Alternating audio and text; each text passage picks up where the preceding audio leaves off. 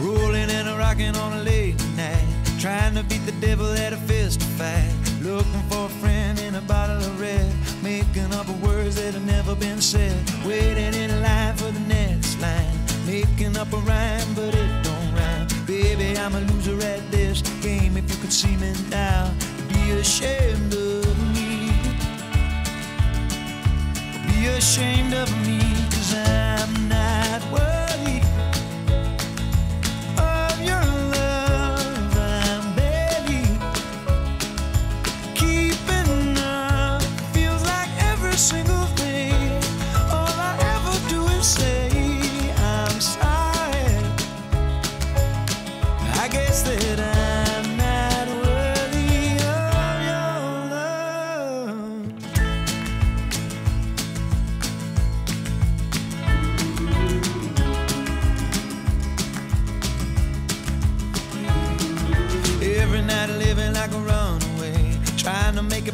before the break of day. I never learn from my mistakes. So much for my great escape. Put my future on the back burner. Grew up fast, but I'm a slow learner. Only got myself to blame.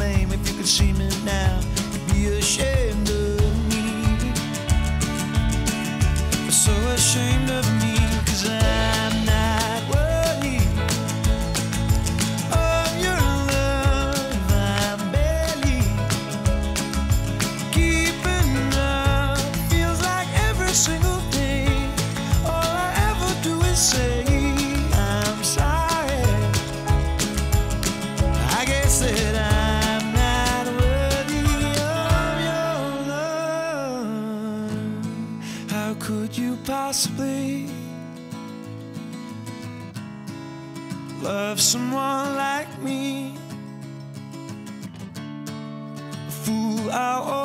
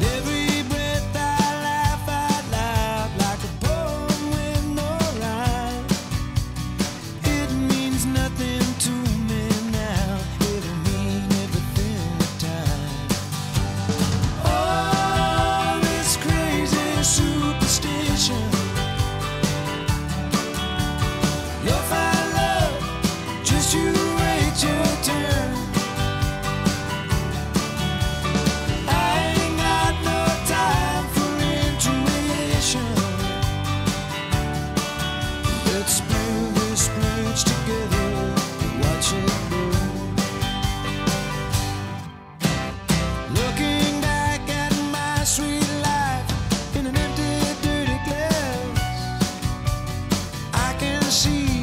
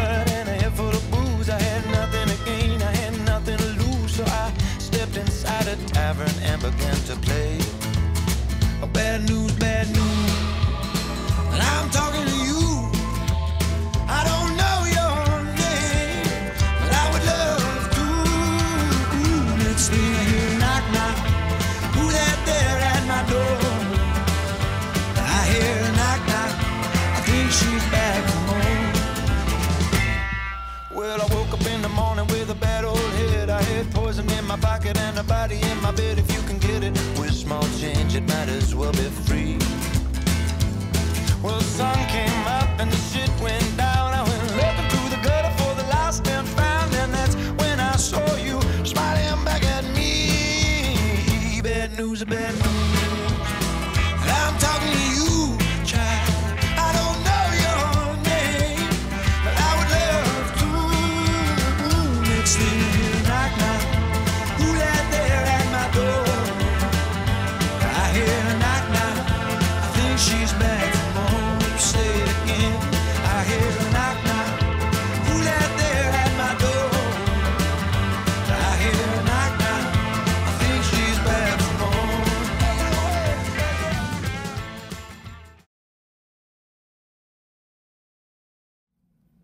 So just a few final words to finish off the video. Uh, I was trying to weather the Faller signal tower. Um, this is how it looks when you buy the package on the front page. And this is the final result. Overall, I'm quite pleased with the result. Weathering with acrylic can really be a efficient way and also cheap way of doing your weathering. You don't have to buy lots of small tins to get the color. You simply just buy a few tubes and you can uh, mix any color you want. So it's really efficient and fast way also to, to get your weathering done. Of course you can spend hours and hours on doing small breaks etc. But I think most of us are also interested in just getting some buildings on the layout and when you do the, the weathering it's important to get some subtle and, and dull colors. You don't want to do too strong colors. It just uh, many times doesn't look uh, realistic. There's something called scale colors. Um, imagine if you do bright colors here and you scale it up, it would just look uh, a bit unreal. So as you saw in the video, we build up the layers just like a painting. The brick wall, uh, the brick wall here, um, many times good good tips is to do at least three layers. So you do a base coat, and then you go in and do some contrast. The contrast with it was basically just a, a wash to get it a bit dirty, and then you come back and you do the highlights, um, a whitish one. And that rule you can follow in a lot of areas. The same with the roof. Base color, we did a, a mix to get some contrast and some dirt, and then we'll finish off with some highlights, which you can see in the roof here. You don't always have to do three colors. Sometimes it can be a bit difficult to actually paint on plastic, especially you got the rails here. The rails, for instance, here is, was an original green. Then we'll just paint it with a green wash in a different color and then a little bit of highlights. So let's take it apart a little bit.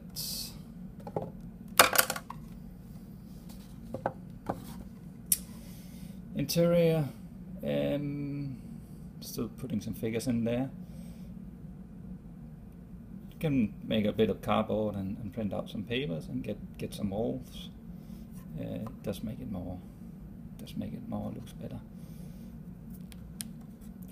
The boardwalk here, three or four colors, a lot of highlights on it to make it a bit worn. This one is really easy to make as well. Again, basically just two colors. First there was a, a brown wash, and then I just went in with a with a highlight, uh, yellow yellowish highlights. There's some grain structure in it, so it's really easy to do your highlights. Just go in here and get the highlights done. Very fast. You don't have to spend hours and hours on it.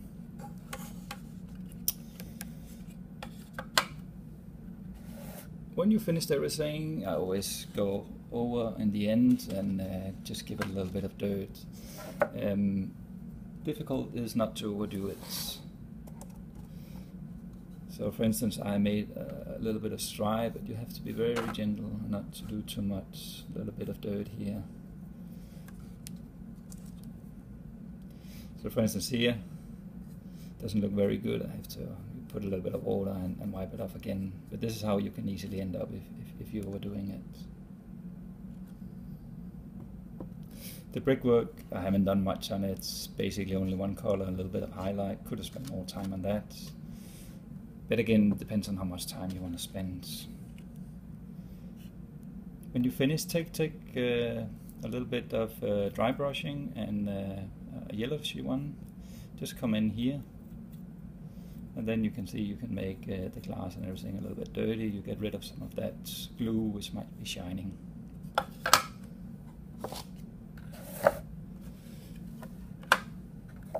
And if you look at the chimney again here, here you just do a little black wash, very gentle. You just put a little bit on and that will give a little bit, almost like an airbrush technique. Again, a little bit of highlighting. Use your dry brush technique to get in here the window again a little bit dirty.